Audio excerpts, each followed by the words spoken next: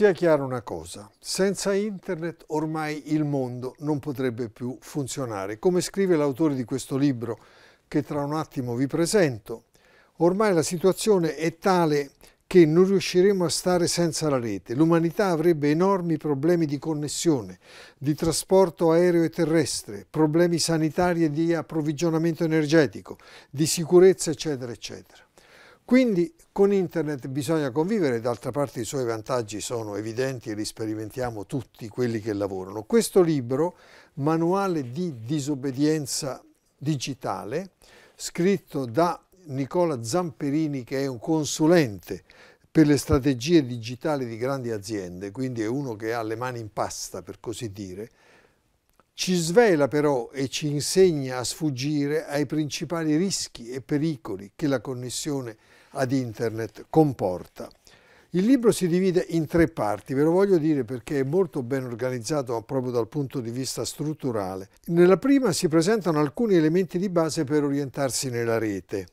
Nella seconda ci sono descritte le qualità che ci rendono umani e che stiamo via via regalando, delegando alle macchine.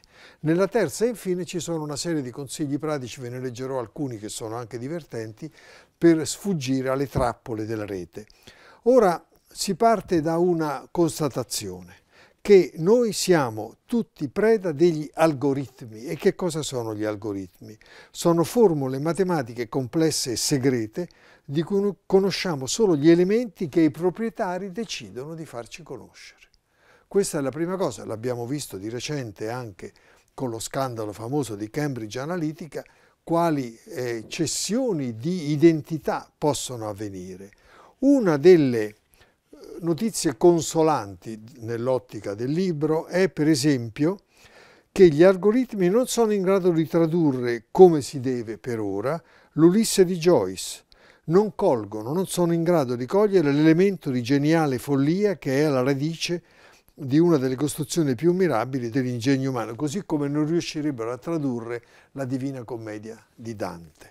Salto la parte delle emozioni e vado direttamente alla serie dei consigli pratici, dicevo prima alcuni divertenti, che l'autore ci dà per sfuggire alle trappole della rete. Per esempio, quando vi iscrivete a un social network o rete sociale, fornite sempre informazioni false.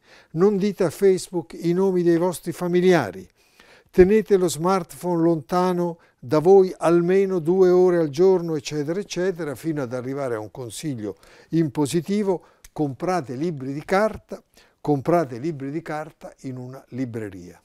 Questo per sfuggire alle trappole più frequenti della rete.